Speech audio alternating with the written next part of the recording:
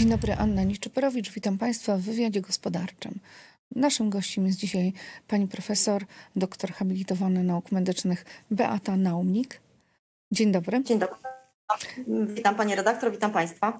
E, pani profesor jest specjalistą chorób wewnętrznych, nefrologiem, kierownikiem kliniki nefrologii i transplantologii z ośrodkiem dializ na Uniwersytecie Medycznym w Białymstoku, ale również członkiem koalicji na rzecz przewlekłej choroby nerek.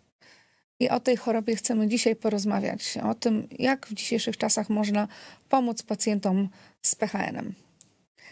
E, może tak zacznijmy od tego właśnie, czym jest ta przewlekła choroba nerek, jakie ma objawy, ilu z nas może na to zachorować?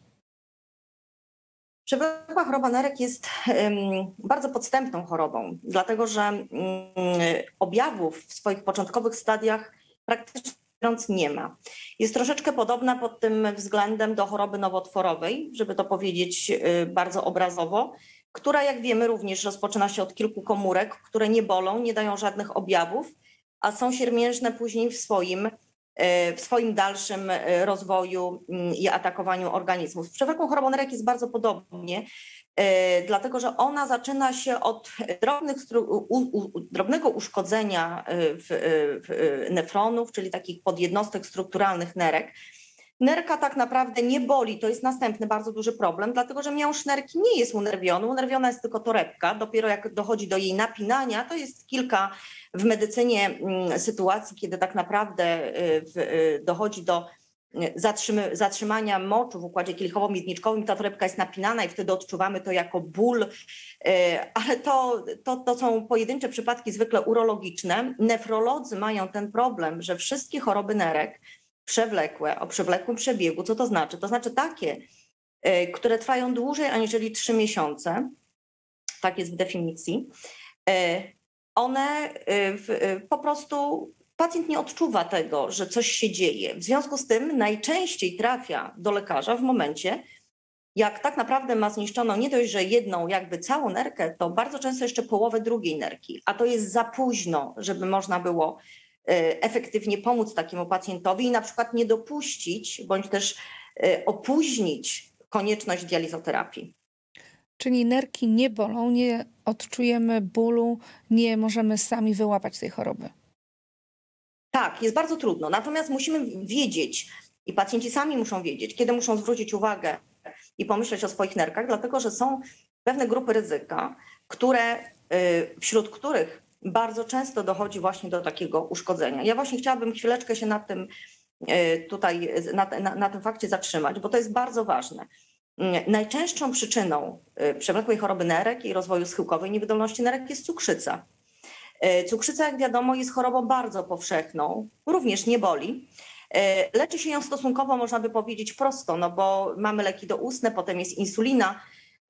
Natomiast niestety późno wykryta cukrzyca, źle prowadzona cukrzyca, nieprowadzona cukrzyca, e, nie, powiedzmy no, nie, nierzetelnie prowadzona cukrzyca bardzo często doprowadza właśnie do uszkodzenia nerek i pokłosiem tego później jest konieczność dializoterapii.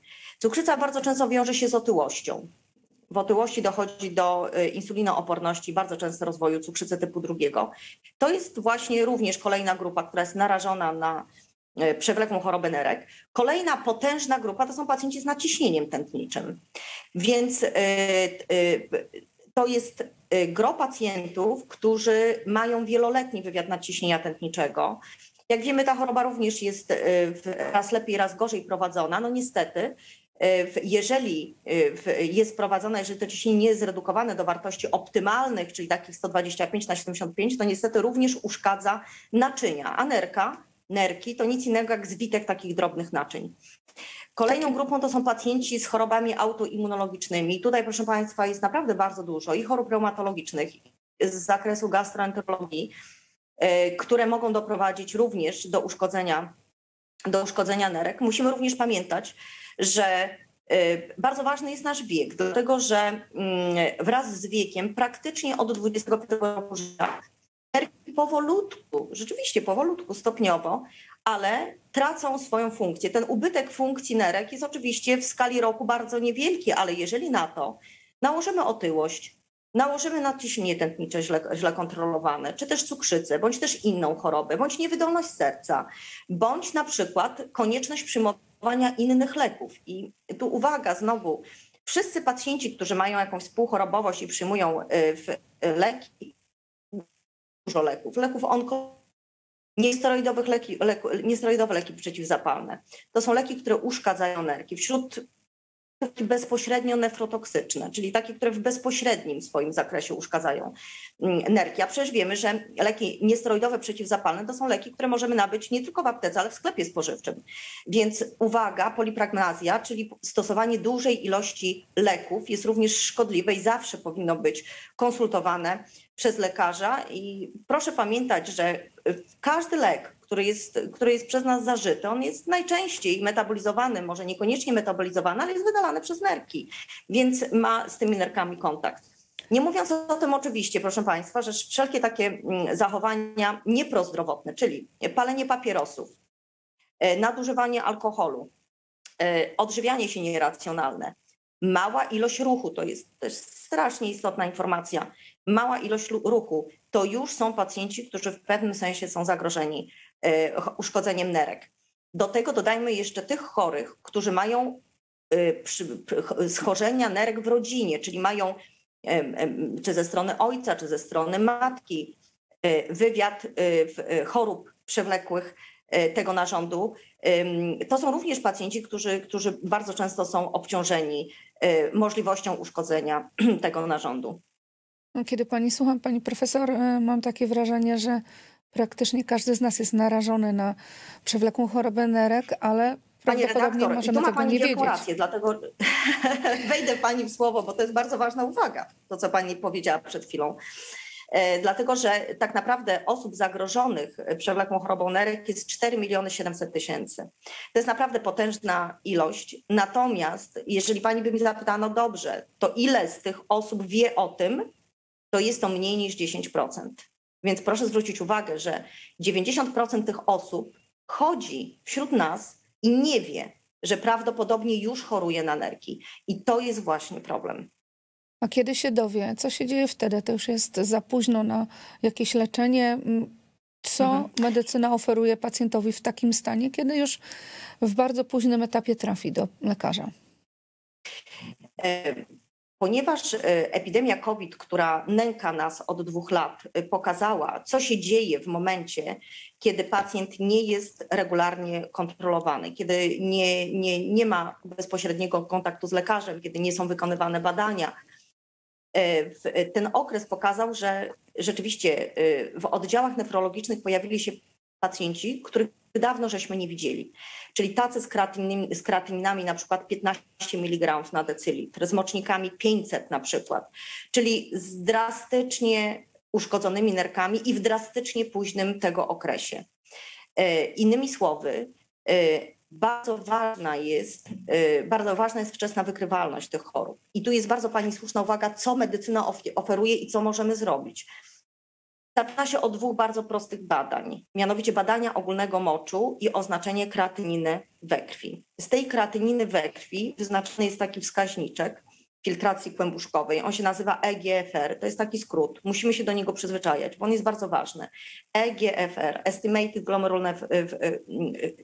Glomerular, Filtration Rate, taki jest, to jest skrót po prostu amerykański, anglojęzyczny. E, dlaczego on jest istotny? Dlatego, że on szacunkowo pokazuje nam, w jakiej kondycji są nasze nerki. Tylko, że tutaj też trzeba umieć zinterpretować te badania, ponieważ jeżeli mamy bardzo dobrą, bardzo dobre GFR, a w badaniu ogólnym moczu mamy jakiś ślad białka, mamy pojedyncze erytrocyty, mamy powtarzający się niski ciężar właściwy, to znaczy, że nie jest dobrze. To znaczy, że coś się z tymi nerkami dzieje. Innymi słowy, to są badania bardzo takie ogólne, bardzo przesiewowe, które dają nam tylko pewien, pewną zajawkę tego, czy ten narząd jest w dobrej kondycji, czy, temu, czy jednak trzeba się tym zainteresować. Innymi słowy, jeżeli kreatyna jest nieprawidłowa, to bezapelacyjnie pacjent musi trafić do lekarza. Natomiast jeżeli w badaniu ogólnym moczu przy prawidłowej nawet kreatyninie pojawiają się dodatki typu krew, erytrocyty, e, leukocyty, białko, e, wtedy y, należy również y, się konsultacja, no chociaż lekarza podstawowej opieki zdrowotnej, który powinien skontrolować to innymi słowy. Po kilku tygodniach należy takie badania ogólne moczu powtórzyć, ale też nie czekamy miesiącami, tylko robimy badania ogólne moczu. Jeżeli coś jest nie tak, za dwa tygodnie nie powtarzamy, znowu coś jest nie tak. Jeszcze raz za dwa tygodnie powtarzamy, czyli w ciągu czterech tygodni mamy trzy badania kontrolne, badania ogólne moczu. Jeżeli tam jest ślad białka, powinniśmy na to zareagować, zareagować pacjent powinien trafić do nefrologa. Natomiast w grupach Czy ryzyka trafi, jest sytuacja troszeczkę inna. Jeżeli mhm. trafi na tym etapie do nefrologa, to jeszcze jest szansa na tak. leczenie farmakologiczne, tak. E, a nie od tak. razu Jest jeszcze szansa na dalszą diagnostykę. Jest jeszcze szansa, szansa na dalszą diagnostykę, bo możemy wtedy zaoferować biopsję nerki diagnostyczną i zobaczyć rzeczywiście, co się tam dokładnie dzieje. Nefrolog będzie dokładnie umiał nazwać te i na nie zareagować. Niektóre z nich naprawdę mają pewne terapie, które są e, dosyć skuteczne. Natomiast w momencie, jeżeli pacjent trafia z kreatiną rzeczywiście powyżej 2,5 mg na decylitr, i już wszystko jedno, co jest wtedy w badaniu ogólnym moczu, ale robimy USG jamy brzusznej, oglądamy echostrukturę nerek i te nerki są zatarte, mają wąską korę albo w ogóle ta kora jest zwłókniała, widać, że struktura tych nerek jest przebudowana to wtedy nefrolog naprawdę ma już bardzo niewiele do zaoferowania. Ja jeszcze chciałabym powiedzieć o jednym badaniu, które teraz staje się coraz bardziej popularne i coraz więcej pacjentów wie o nim i to jest bardzo dobrze. Mianowicie jest to albuminuria. Ale kiedy oznaczać tą albuminurię? Albuminurię oznaczamy w grupach ryzyka, o których już mówiłam, czyli e, w, w cukrzycy, to jest pierwsza rzecz, w nadciśnieniu tętniczym i w chorobach autoimmunologicznych, na przykład takim jak toczeń układowy czy waskulityz, czyli zapalenie drobnych naczyń. To są grupy pacjentów, które są narażone y, na pewne patologie ze strony naczynek, właśnie drobnych, a y, uszkodzenie tych drobnych naczyń doprowadza właśnie do pojawienia się w, do pojawienia się w moczu bardzo drobnego białeczka, którą nazywamy albuminą. I tej albuminurii, czyli obecności tej albuminy w badaniu ogólnym moczu nie wykryjemy, ponieważ nie jest to badanie, które jest ukierunkowane na wyszukiwanie takich drobnych białek. Natomiast jeżeli zlemy albuminurię, a możemy to zrobić już w pojedynczej próbce moczu. Bardzo dobrym takim wskaźnikiem drugim to jest tak zwany UACR, czyli stosunek albuminy do kreatyniny w pojedynczej próbce moczu. Jeżeli przekracza to 30 mg na 1 gram kreatyniny, to znaczy, że jest albuminuria i to znaczy, że ten pacjent ma już uszkodzone kłębuszki nerkowe. Dlatego, ale to badanie wykonuje się w grupach ryzyka. Tego badania nie, wy, nie wykonuje się przesiewowo. Także yy, w sumie należy zapamiętać, kreatynina, badania ogólne moczu, podstawowe rzeczy, czy cukrzycę, nadciśnienie, czy jakąś chorobę autoimmunologiczną, powinienem zrobić albuminurię. I jeszcze do tego USG jamy brzusznej. To są podstawowe y, badania. Piątym badaniem, które zawsze obowiązuje, jest pomiar ciśnienia tętniczego. To są właściwie bardzo proste rzeczy. E, dlaczego pomiar ciśnienia tętniczego? Dlatego, że nerka może być ofiarą nadciśnienia tętniczego. Tak jak powiedziałam, wszyscy, którzy chorują na, na nadciśnienie tętnicze, które jest chorobą przewlekłą, mogą również chorować na nerki, ale odwrotnie, wszyscy pacjenci, które mają, mają uszkodzone nerki pierwotnie, bo na przykład mają kłębuszkowe zapalenie nerek jakiegoś tam typu, rozwijają nadciśnienie tętnicze. Nerka ma to do siebie, że będąc uszkodzoną, ona po prostu ma mechanizmy takie obronne, które generują nadciśnienie tętnicze systemowe, czyli ogólnoustrojowe. Innymi słowy, jeżeli mam nadciśnienie tętnicze, to od razu muszę sprawdzić sobie, co się dzieje z moimi nerkami, bo być może to jest objaw choroby nerek. I dlatego zwracam na to uwagę. Nerki nie bolą, ale nie można powiedzieć, że choroby nerek są kompletnie bezobjawowe, bo to byłoby nieprawdą. Wystarczy jednak zrobić badania laboratoryjne, te, o których powiedziałam, zrobić USG jamy brzusznej i zmierzyć ciśnienie tętnicze. I to jest taki podstawowy screening tego, co się dzieje z tym narządem. Pani profesor, na szczęście na rynku są leki, które okazały się przełomem w nefrologii od 20 lat i dzięki nim prawdopodobnie pacjentów możemy, jeżeli wcześniej zostanie to wykryte, uchronić i przed dializą, i uchronić przed przeszczepem. E, dziękujemy za e, rozmowę, dziękujemy za wprowadzenie w świat chorób nerek, który być może uratuje wielu nas przed popełnieniem błędów. Naszym gościem była pani profesor Beata Naumnik. Dziękujemy serdecznie. Bardzo. Dziękuję pani redaktor. Do widzenia. Do widzenia państwu.